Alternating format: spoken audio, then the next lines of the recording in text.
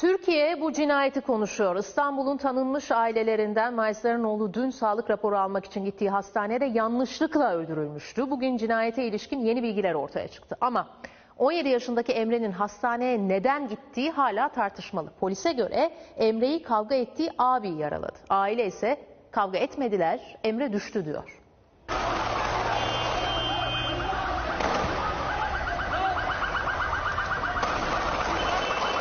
Erkeklerin şiddetine son verecek bir şey yapmak lazım. Biz anaların canları yanıyor. 17 yaşında ünlü bir ailenin oğlu dev bir şirketin veliahtıydı. Hastanede yanlışlıkla bıçaklanıp öldürüldü. Talihsiz ölümü cemiyet dünyasını şok eden Emre Meys son yolculuğuna uğurlandı. Emre Meys'in Şişli Hamidiye Etfal Hastanesi'ne abisiyle kavga edip yaralandığı için getirildiği iddia edilmişti. Ancak bugün aile bu iddiaları yalanladı.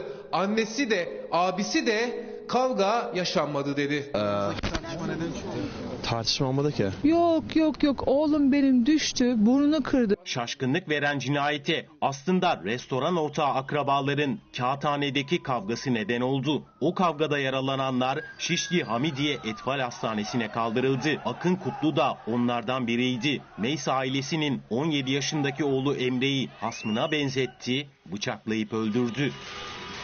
Emre Meys'in neden hastaneye gittiği de adeta bir muamma. İddiaya göre Emre babasının aracı çamura saplanınca abisiyle kavga etmiş, abi Sinan Meys de onu yere düşürüp yaralamıştı.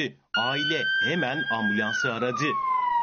112 sağlık görevlileri adli bir olay olduğu için durumu polise bildirdi. Emre hastaneye götürülürken abisi de polis tarafından gözaltına alındı. Hastanede sedyede yanlışlıkla öldürülen 17 yaşındaki Tyler Emre Meys için Sarıyer Yeniköy Camii'nde cenaze töreni düzenlendi. Şu anda Meys'in tabutu omuzlarda cenaze aracına konuluyor. Tören sonrası Meys ailesi soruları yanıtladı. Efendim siz Bir her şey şeyi yapmak şahit lazım. oldunuz Maalesef çok acı bir olay. İki omuz da tartışmış kendi aralarında hastaneye getirilmiş. Yok benim Var mı? Doğru haber yap. yok yok yok oğlum benim düştü burnunu kırdı. Biz de 150'yi çağırdık ambulansı.